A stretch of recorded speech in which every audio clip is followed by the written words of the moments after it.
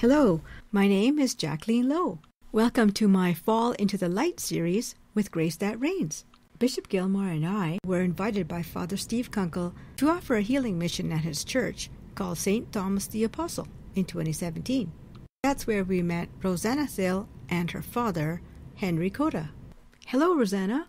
Hi, Jacqueline. We have felt so privileged to have been invited to your parish and especially to have met you both. Being at St. Thomas during that time, mm-hmm. since I work with the children there, if yeah. it wasn't for that flyer that was posted about the healing and about Father Gilmore and his message and your message, mm-hmm. we would not be here today. Well, we're excited too to listen to this wonderful testimony, and we can't wait to hear Henry's story. Hi, Henry. Jacqueline. I'm very happy to talk to you too, Jacqueline. Well, before we begin, can you tell us a little bit about yourself?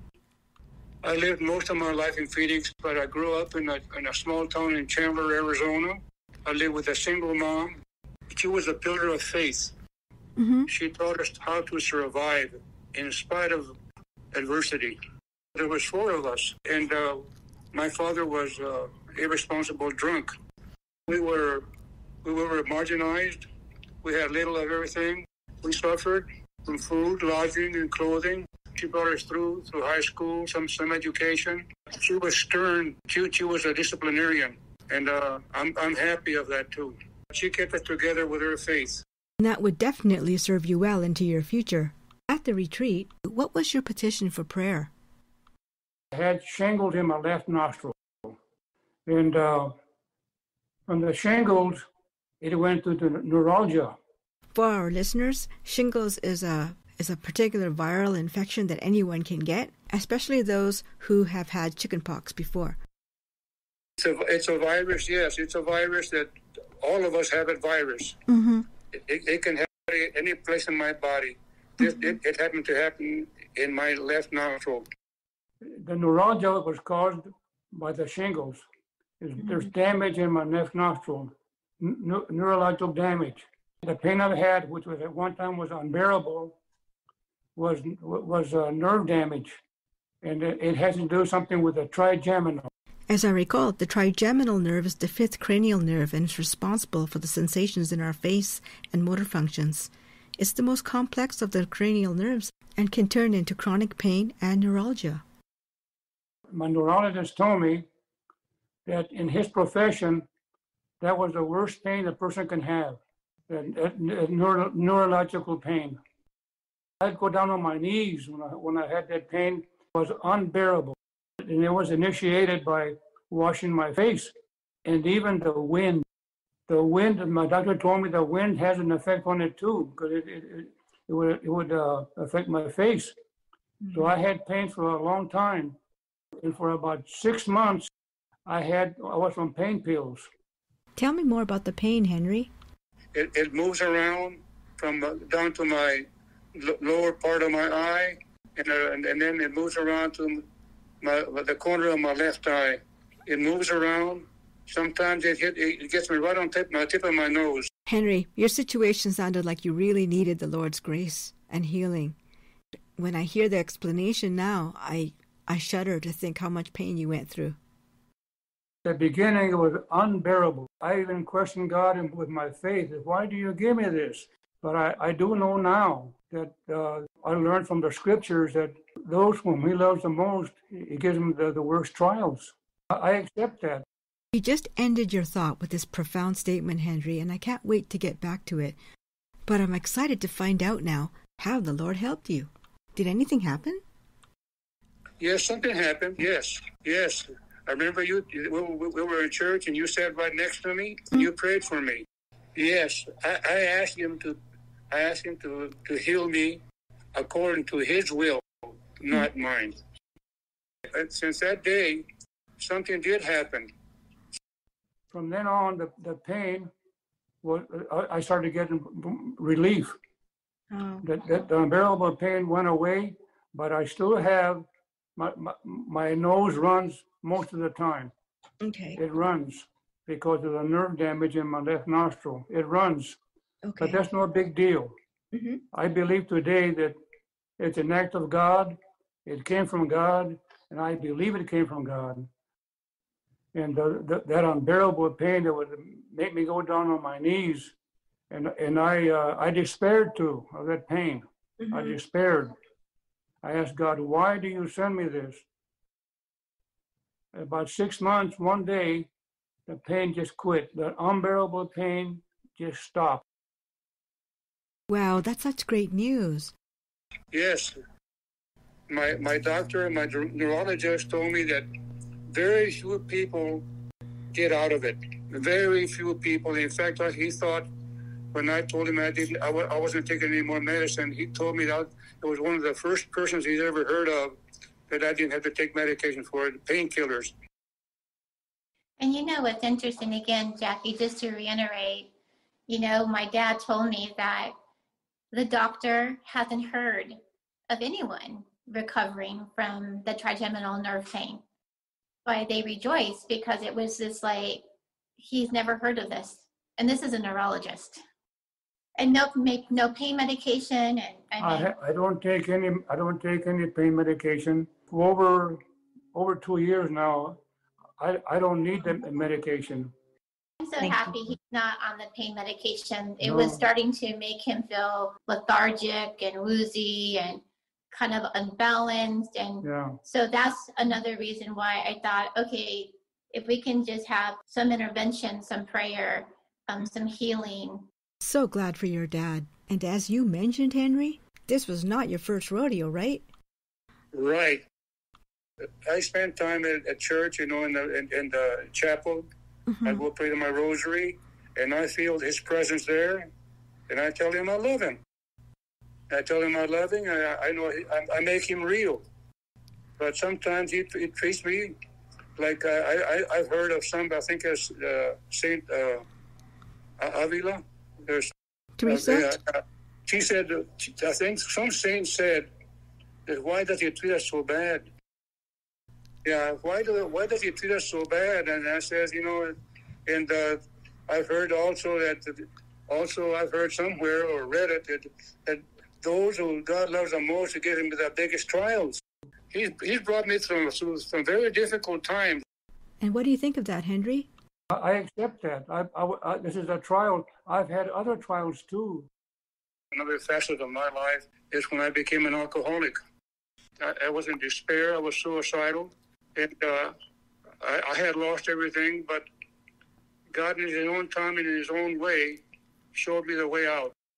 So tell me more about the burden of alcoholism. Well, alcoholism is a disease. My whole family, my whole family, from my grandfather down, and sons and uncles, we, we have all, we all have a disease. I didn't know that the seeds of alcoholism were, were within me to begin with. I didn't know that, and so I drank it hasn't gone away. It's still with me. I joined Alcoholics Anonymous in despair, working the steps in, in, in Alcoholics Anonymous that, that God really cared for me. How long ago did AA save your life? 45 years ago. Mm-hmm. And that has never left me, that God is with me. My sponsor told me the most beautiful thing I ever heard in my life. He told me, Henry, you are not alone. God cares for you. God cares for me. You are not alone. I'm sure that brought you great assurance when you were diagnosed some years back with a brain tumor, huh? Right. Especially when I had that brain tumor, I was told I was going to die. Because, you know, it, it, it, my doctor told me at the Jimena Hospital, they told me, he says, you're going to die because you're, it's cutting off the, it, that tumor is wrapped around your brain, your brain stem, and it's going to cut off the, the blood supply you're just going to drop. I, I, went for about three months. I had I had different different uh, I had different uh, procedures mm-hmm. and uh, very difficult procedures. About three months of that, different ones, and finally I couldn't take it no more. I said, "Doctor, you better just tell me something." And he says, "Come on in." And he told me, he says, of all the results the, all that you went through, there, was something there, but mm-hmm. it's no longer there. Mm-hmm. Because uh, he told me, the doctor said, there was something there, but it's not there anymore. He says, I don't know what happened. But I do. I'm grateful to God that He pulled me through that, see. Henry, your conversation with me reminds me that life is so fragile and that God really is in charge of our lives. I can't imagine the anxiety and the suffering that you went through also when you experienced your brain tumor, and then the delight and receptivity to the Lord when He healed you again. So I have to ask you, what are your thoughts on the topic of suffering? A lot of saints have suffered a lot. Suffering is suffering is, is not unusual for saints. They suffered a lot of people have suffered, and it, it just it, it's my time to suffer too. But I do know that God, in God, in God's time, in His own way, He can do what He wants to do. Everything is possible with God.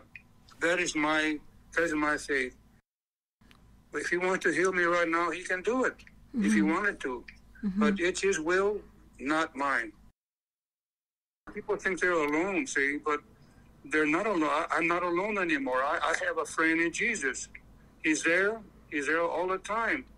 So we're friends now. But you know, sometimes he he can do whatever he wants to do with me, mm. and I, I give I give him permission to do with me what he wants to do, and he's never failed me. What a great reminder. I, I have been there. I've been there. I, have had I've had so much pain. I say, you're in charge. Mm-hmm. You do whatever you. I'll give you permission to do with, with me whatever you want to do. I'm not. I'm not. Uh, I'm not in charge anymore. He is. Amen. Looking at your life, how did your experience of adversity, suffering, and faith change you? It's life on life terms. Okay, what does that mean? Jacqueline, we make the best of it. We accept it. Mm-hmm. We accept the pain. We turn it over to God. This is my faith that God will do something in His own time and in His own way. Uh, sometimes I, I, I'm chomping at the bit. Sometimes I, I question Him. Mm-hmm. But in all instances, he, His will be done, not mine. But it, life has not been easy with me. I've had a lot of pain, but I've used the pain. Mm-hmm. I've used the pain. I turned it over to God, and He's never failed me, and I know He never will. I, I have a I have a, a, memory that, that Jesus suffered a lot. Mm-hmm. You know, when being crucified and the pain that, that goes through me too. You know that he, he suffered. So in my, my in my own way, in my own time, I offered it up to him. I says, you know, that you suffered. Mm-hmm. I offered it up to you, and and and, and, and I and it, it, gets me through that. See, I, I don't want that pain to go to waste. You mentioned that although you don't have to take any more painkillers, the Lord didn't heal you 100%, and sometimes you do have intermittent pain shooting through your face. What are your thoughts on that? Do you think the Lord is testing you? I, I keep remembering, you know, that, that, that what that saint said that those who those whom God loves the most, He gives them the greatest trials. Hmm. And uh, this neuralgia is a trial. Uh, it's, it's going on for years. I uh, tell him, I says, you know, you suffered, Jesus. You suffered and I mm-hmm. offer whatever pain I'm going through. But uh, in the last two months, it, has been hard. In fact, you know, I was recently, uh, we were together with my son. He's got a little ranchette in, in, in, in up, around Prescott, Arizona. Mm-hmm. And, uh, you know, I, we, we were all enjoying our meals there, and, and this pain, every time I swallowed, where the pain would come in. So I asked, I asked the good Lord, I said, you know, let me enjoy this, this food with my family. Mm-hmm. And uh, it, it didn't help. But I know He heard me. I, I believe that God can take care of it. Mm-hmm. I, I, know He can.